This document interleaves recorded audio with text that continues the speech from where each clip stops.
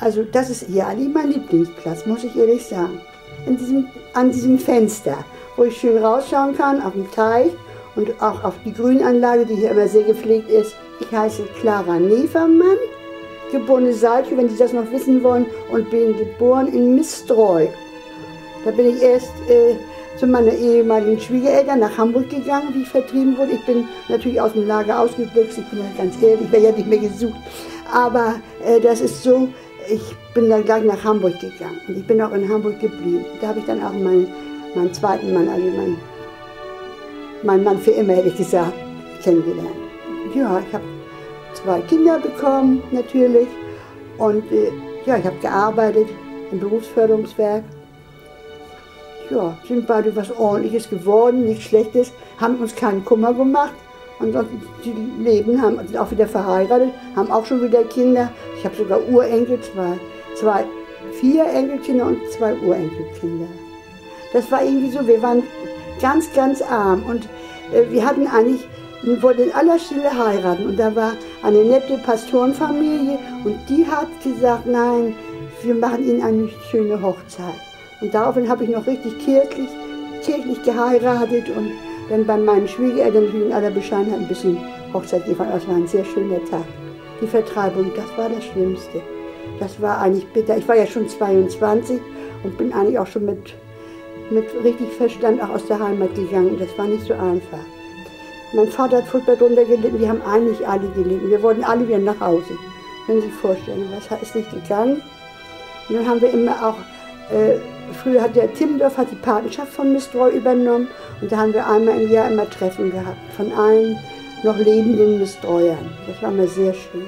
Ich höre eigentlich dreimal am Tag Nachrichten, die höre ich viel. Ich höre, also interessiere mich sehr für Politik noch, ich höre auch politische Sendungen. Das ist noch, das ist noch mein Faible, obwohl ich, obwohl ich Namen schon vergesse. Also wenn ich dann erzählen soll, der Politiker hat mir nicht gefallen, dann weiß ich die Namen nicht mehr. Also das ist natürlich jetzt in meinem Alter schon schwierig. Ich bin eigentlich so zufrieden. Ich bin eigentlich, ich habe eigentlich gar nicht so Wünsche. Ich habe ich hab noch ein klein bisschen Geld und ein bisschen Taschengeld habe ich noch. Ne? Ich habe keine große Rente gehabt, aber ich bin zufrieden. Ich habe keine Wünsche. Vielleicht würde ich mal in der Schule mehr lernen. Ich war ein bisschen faul. da würde ich vielleicht mehr lernen. Also vor Sterben habe ich gar keine Angst. Angst habe ich eigentlich nur vor Leiden. Wissen Sie, wenn man da so sieht, ich sehe ja auch hier die Menschen auch leiden, bevor sie sterben müssen. Und das natürlich ist bitter, nicht? Da habe ich ein bisschen Angst vor. Nicht? Kirche ist etwas, das ist eben der Glaube, man kann sich daran festhalten. Und ich habe die Erfahrung gemacht, ich habe durch die Kirche habe ich in meinem Leben viel Halt gehabt.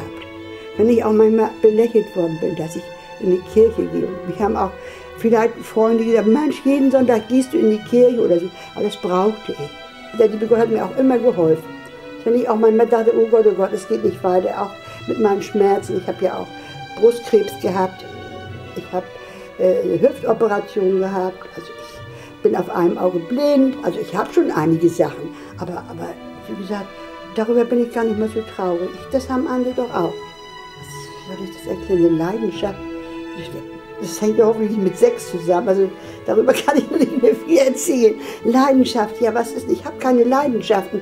Ich, bin zufrieden mit dem. Jeden Morgen bin ich dankbar, wenn ich wach werde und ich, ich habe noch mein Augenlicht und ich kann noch sehen und ich kann den Tag erleben. Das ist eigentlich meine, meine das ist, aber ich das als Leidenschaft bezeichnen, weiß ich. Aber da bin ich zufrieden.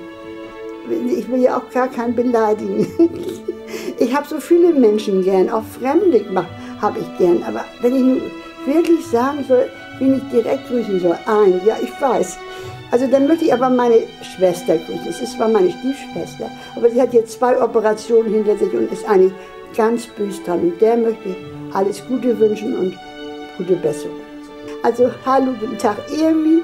Ich denke immer an dich, weil du jetzt ja auch ein bisschen schwere Zeiten hast. Aber ich wünsche dir alles, alles Gute und dass du die Krankheit besiegst. Das wünsche ich dir von Herzen.